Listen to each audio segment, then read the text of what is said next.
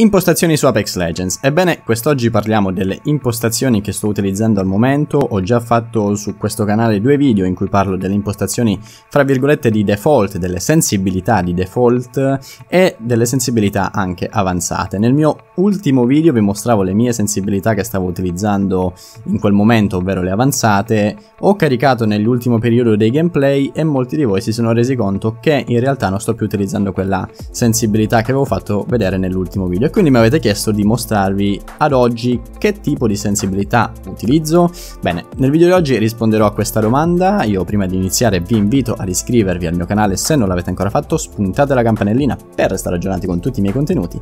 Detto questo direi di non perderci in ulteriori chiacchiere e iniziare.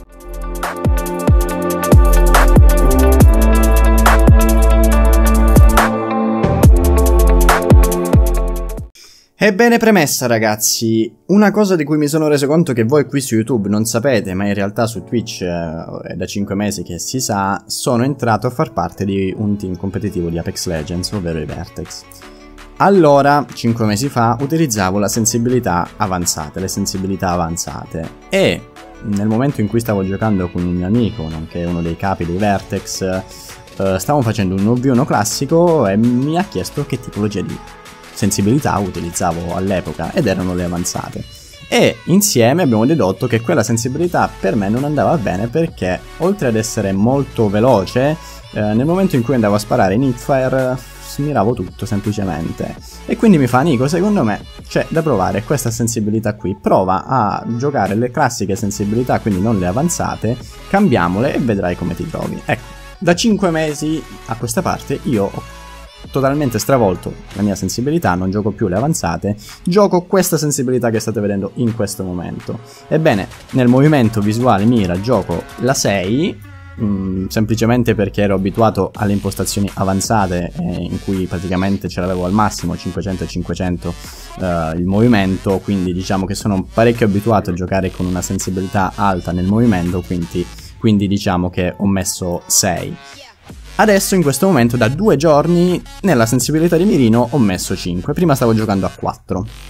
Questo perché mi sono reso conto che posso semplicemente alzarla perché in alcuni casi ho trovato che il mio controllo arma quando andavo a sparare con ad esempio un flatline facevo un pochino più fatica a controllarlo a media-lunga distanza e con la sensibilità 5 basta che muovo molto di meno l'analogico e quindi riesco a controllare meglio il mio flatline ad esempio. Ho anche cambiato la mia curva di risposta che nel precedente video come vi avrò detto era uh, stabile, adesso l'ho cambiato, l'ho messa a classica, devo dire di trovarmici molto bene Ovviamente la zona morta visuale resta ancora nessuna e la zona morta di movimento resta a piccola. Questo perché ho cambiato pad, prima avevo un pad che mm, ormai era un po' andato, quindi dovuto, dovevo avere la sensibilità della zona morta a grande, adesso l'ho potuta mettere benissimo a piccola, non ho alcun movimento quando sto fermo, quindi sono uh, felice di ciò. Mi soffermo anche a parlare velocemente del campo visivo e della luminosità, io gioco un campo visivo che non è 110, è 102, molti giocano il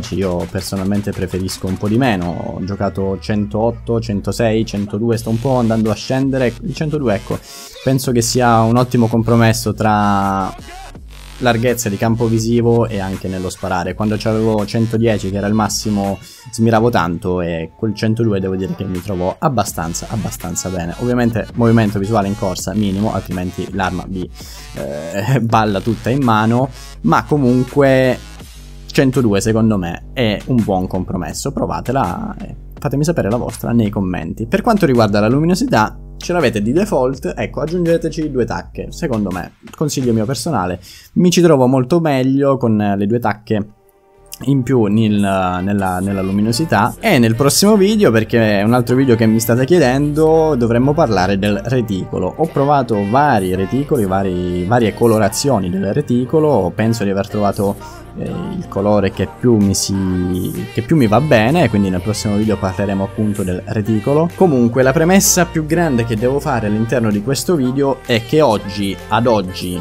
in questo video qui vi mostro solamente le mie sensibilità ma che non è detto che vadano bene anche per voi, magari vi ci trovate male. Ecco, nei miei precedenti due video, lo so che sono un po' ripetitivo, vi spiego appunto tutte queste impostazioni, vi spiego ogni parte cosa significa e come cambiarla per insomma trovarvi la vostra sensibilità. Ad oggi vi ho solo mostrato la mia e qui ci fermiamo, quindi vi lascio in descrizione quegli altri due video.